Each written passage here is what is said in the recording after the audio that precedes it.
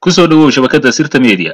Haddii ay tahay marka kuugu horeysay sabskrayb saar gambaleelkana furo mahadsanid waa subaxnimo jimcaha taariikhduna ay ku beegan tahay lix iyo labaatanka bisha juun sannadda laba kun iyo labaatanka. Ku soo dhowaada warka subaxnimo ee shabakadda sirta media. Sirta Media, Sirta Media, Sirta Media. Media, Media. Senatar cabdi axmed dhuxulow dhegdheer oo ka tirsan guddiga dhowaan uu magacaabay guddoomiyaha aqalka sare mudane cabdi xaanshe cabdulaahi in ay soo diyaariyaan shirka dowlad goboleedyada iyo dowladda federaalka ayaa sheegay in aqalka sare aysan marnabo ogolaan doonin in farmaajo waxa uu doono uu ka samaysto. Dhegdheer oo ay qaraabo hoose yihiin ra'iisul wasaare khayre islamarkaana ah la taliyo gaar ah uu khayre wax ka dhegaysta ayaa waxa uu maalmihii la soo dhaafay ka wada magaalada muqdisho abaabul uu uga soo horjeeda madaxweyne farmaajo iyo beesha mariixaan dhegdheer oo xalay la hadlay qaar ka mid a ganacsatada beesha murursade ayaa sheegay in sida keliya ee farmaajo qol loogu soo xiri kara ay tahay in loo adeegsado aqalka sare. Ninkii farmaajo ahaa geese ayuu la soo baxay. Wakhtigan kale guurka ahna ma ahan inuu nagu xididaysto. Horta haba ka cabsanina in cabdi xaashi uu tanaasulo annagana waan ku daba jirnaa. Isagana waxa uu ballanqaaday in uusan ka leexanaynin wixii aan kula heshiinay. Cabdi xaashi waa isku qarxiyaha farmaajo ee ogaada ayuu yidhi senatar dhegdheer sida shabakadda sirta media ay u xaqiijiyeen dad goobjoogyaal ah waxa uu ku daray dhegdheer sidii aan hore ugu ballannay inta xasan cali khayre bannaanka ka imaanayo oo uu caddaysanayo musharaxnimadiisa oo aan sidaasi u sii dheereen. Farmaajo waa la haynayaa sidii horeba loogu hay ee marnaba yuusan welwel idin galin. Waxaa kaloo uu dhegdheer u sheegay beesha murursade in ay hal tallaabo u hartay beesha murursade tallaabadaas oo ah in murursade loo qaado ama loo tumo heesta calanka soomaaliya anagoo madaxweyne ah inta taas laga gaarayana marnaba si fudud kuma dhiibayna mansabka aan haysano dhanka kale siyaasiga caanka ah ee daahir maxamuud geele oo haatan musharaxa u taagan xilka madaxweynaha ayaa ka hadlay arrimo ku aadan doorashada ilaa iyo siday ugu diyaar garoobaysa dowladda soomaaliya. Geele ayaa sheegay in dowladda federaalka ay ka gaawayso arrimaha doorashooyinka amniga iyo wada shaqaynta kala dhexaysa dowlad goboleedyada ka jira dalka. Sidoo kale waxa uu kula taliyey madaxda dowladda dhexe in ay qabtaan doorashooyin la mid ah kuwii hore uga dhacay dalka ayna u qabtaan sida hanaankii hore oo kale. Musharax daahir maxamuud geele ayaa sidoo kale xusay in ay muhiim tahay in doorashooyinka ay noqdaan kuwo la wada ogol yahay oo raalli ay ka wada yihiin daneeyayaasha. Dowladda doorashooyinkii hore ha qabato iyo hanaankii hore ha u qabato kama aysan soo reyn xagga amniga kama aysan soo reyn xagga maamul goboleedyada iyo isla socodkii. Hala wada hadlo siyaasiyiinta aan ka mid ahay hala tashato. Doorashooyin aan isla ogolnahay aan qabsano.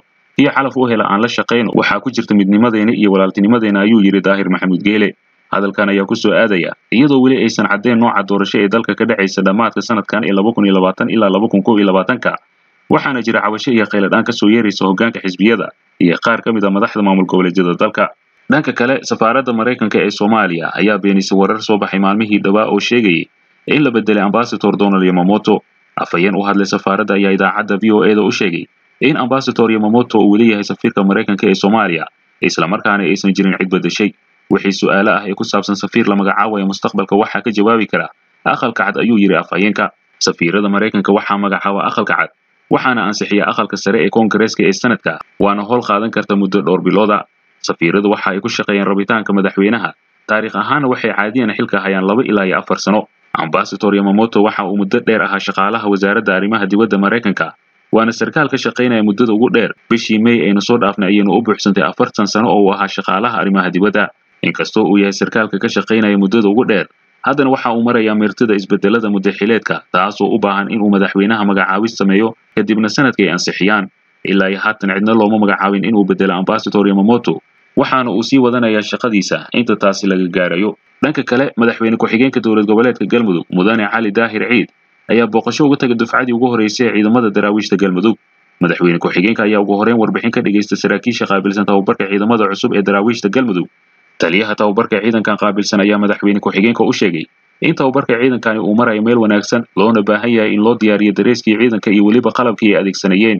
Sidoo kale taliyaha waxa uu sheegay in ciidankani ay u baahan yihiin dhiirigelin sida in la soo booqdo xuquuqdoodana laga warhayo. Madaxweyne ku-xigeenka oo goobtaasi ka hadlaya u mahad celiyey saraakiisha tababarka gacanta ku haysa waxa uuna sheegay inay qabteen shaqo qiimo u leh galmudug state. Sidoo kale madaxweyne ku-xigeenka galmudug ayaa ciidamada cusub ee daraawiishta galmudug kala dardaarmay in ay si wanaagsan u dhammaystaan tababarka ay ku jiraan ugu dambeyn saraakiisha xafiiska madaxweyne ku-xigeenka galmudug ayaa ciidamada cusub ee daraawiishta galmudug ku wareejisay xoole iyo raashiin intaas waxay ahaayeen wararkii ugu dambeeyey ee ilaa iyo haatan ina soo gaaray hadday ku dhaafeen wararkeena hore ee xiisaha lahaa dib u dhegaysa iyagoo rugaar celisa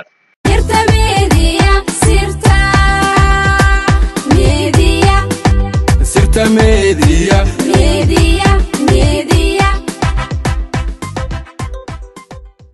Sida ilwareejo ka tirsan guddoonka baarlamaanka jamhuuriyadda federaalk soomaaliya ay u sheegeen shabakadda sirta media. Waxaa maalintii shalay ahayd loo diray warqaddii ay guddoomiyaha guddiga doorashooyinka xaliime ismaaciil xaliime yarey ay ka hor imaan lahayd baarlamaanka jamhuuriyadda federaalka. Toddoba iyo labaatanka bishan oo ku beegan maalinta sabtida haddaba ilwareejo lagu kalsoon yahay ayaa shabakadda sirta media la wadaagay saddexda fursad ee lagu wada inay hor keento baarlamaanka si dalkay ugu dhacdo doorasho. Guddoomiyaha ayaa lagu wadaa inay hor keento baarlamaanka. Ay mid ka doortaan saddexdan qodob in doorasho dadban oo la mid ah doorashadii dalka ka dhacday laba kun lix iyo toban la qabto taasoo muddaday u qoondaysay qabashadeeda ay tahay ilaa lix bilood. Doorasho laga ballaarinayo midii laba kun lix iyo toban taasoo la geynayo doorashooyinka magaala madaxyada dalka taasoo lagu asteeyey siddeed iyo tobanka gobol ee dalka uu ka kooban yahay. Waxaana xildhibaanada dooranaya qabaa'ilada ay ku matalayaan baarlamaanka waxayna guddiga u qorsheeyeen in loo baahan yahay muddo kororsi hal sano ah in dalka ay ka dhacdo doorasho qof iyo coda taasoo ka dhici doonta dhammaan deegaan doorashada ka madax bannaan meelaha ay haystaan kooxda al-shabaab ah ka dhinnaa doorashooyinka taasoo caqabad ku noqon doonta in xaliimiyarey ay hor timaado golaha baarlamaanka waxaana maalinta sabtida ah loo balansan yahay in cod loo qaado mooshinka matalaadda gobolka banaadir waxaana ilwareejo ka tirsan villa soomaaliya ay shabakadda sirta media u sheegeen in madaxweyne farmaajo uu ka biyadiidan yahay in muqdisho ay hesho wax ka badan lix xubnood oo matalaada arrintan ayaa keeni kartay in gebi ahaanba halka uu ka dhaca buuq wata rabshado kaasoo ugu dambayna sababi doona in uu xirmo kalfadhiga baarlamaanka jamhuuriyadda federaalk soomaaliya waana sida uu rabo madaxweyne farmaajo guddoomiyaha guddiga madaxa bannaan ee doorashooyinka xaliime ismaaciil xaliime yarey ayaa waxaa muddaxileedkeeda ay ka harsan tahay wax ka yar hal sano taasoo aanan loo kordhin karin muddadeeda islamarkaana sida sharcigu uu qabo mar kale lasoo magacaabo guddiga madaxa bannaan ee doorashooyinka qaranka dhanka kale guddoomiyaha aqalka sare ee baarlamaanka federaalk soomaaliya mudane cabdi xaanshe cabdulaahi oo u waramay b b c da laanta afka soomaaliga ayaa ka hadlay xaaladda dalka gaar ahaan khilaafka u dhexeeya golihiisii kan golaha shacabka. Cabdi xaanshe ayaa sheegay inuu u yeeray guddoomiye mursal si ay uga wada hadlaan xiisada u dhexaysa labada gole iyo afarta xeer ee lagu muransan yahay ee dhammaystirka doorashada balse waxa uu tilmaamay inuu ka diiday sida uu hadalka u dhigay. Guddoomiyaha aqalka sare ayaase sheegay in wax eed ah uusan lahayn guddoomiyaha golaha shacabka balse waxa uu eedda u jeediyey cid kale oo uusan shaacinin. Waxaan u yeeray guddoomiye maxamed mursal iima uusan imaanin balse isaga eedda ma lahanee cid kale ayaa wada ayuu yidhi guddoomiye cabdi xaashi cabdulaahi oo la rumaysan yahay inuu ula jeedo madaxweyne farmaajo kaasoo gadaalka riixaya guddoomiye mursal. Dhinaca kale wuxuu soo hadal qaaday afarta xeer ee muranka badan dhaliye ee haatan hor yaalla golaha shacabka isagoo mar kale ku celiyay in la bedelay nuquladii ay soo gudbiyeen guddiyada wadajirka ah ee labada aqal ee baarlamaanka soomaaliya. Sidoo kale waxa uu carabka ku dhuftay in xeerarkaasi haddii aan wax laga bedelin aysan wax shaqa ah ku lahayn golaha aqalka sare islamarkaana aan loo soo gudbinin wuxuuna xusay inay gaar u tahay golaha shacabka sida uu hadalku dhigay. Ugu dambayntii waxa uu tilmaamay inuu ka talinayo in la isugu yimaado shirweyne ballaaran oo ay u dhan yihiin dhinacyada ay khusayso doorashada sida dowladda dhexe dowlad goboleedyada iyo xisbiyada siyaasadda si loogu hadlo arrimaha doorashada. Dhanka kale madaxweynaha jamhuuriyadda federaalk soomaaliya mudane maxamed cabdulaahi farmaajo oo ka hadlay qiimaha xuska toddobaadka xorriyadda iyo midnimada dalkeena ayaa shacabka ka codsaday inay hal mid wada sameeyaan. Madaxweynaha ayaa ka codsaday muwaadin kasta oo soomaaliyeed in calanka jamhuuriyadda iyo astaanta qaranka uu suro hoygiisa goobaha ganacsiga iyo xarumaha dadweynaha si aynu u muujino farxaddeena ku aadan maalmaha qiimaha badan uguna faano taariikhda iyo qarannimadeena muwaadin kasta oo soomaaliyeed meel kasta oo caalamka ka joogo waxaan ka codsanayaa inuu u dabaaldego oo uu lixdan guuradana ka qayb qaato. Guryaha goobaha la isugu yimaado iyo goobaha ganacsiga la suro calankeena. Ubadkeennana aan uga sheekayna taariikhda iyo xorriyadda dalkeena. Waxa uu sidoo kale ku booriyey dhammaan muwaadiniinta soomaaliyeed inay doorkooda ka qaataan dabaaldegyada lixdan guurada ka soo wareegatay.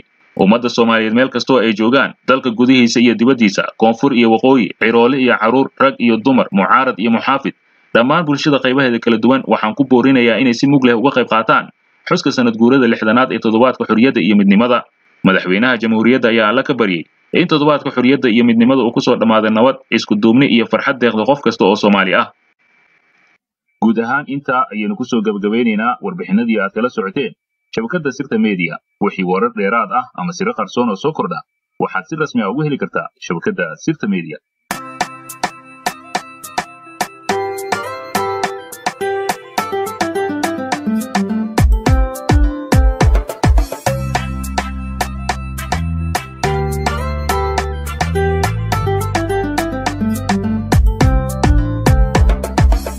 Sirta Media, Sirta Media.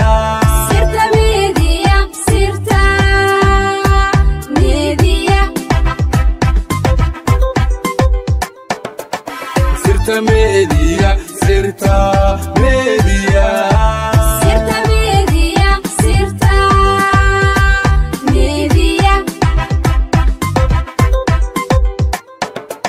raagii baryaba wixii soo kordhiya waxa jira arlada.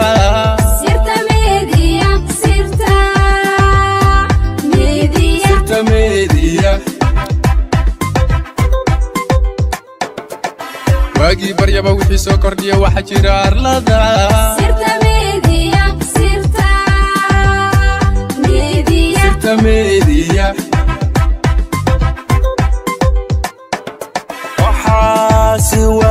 Waafiya kugu soo warinaya warbaahinta meediya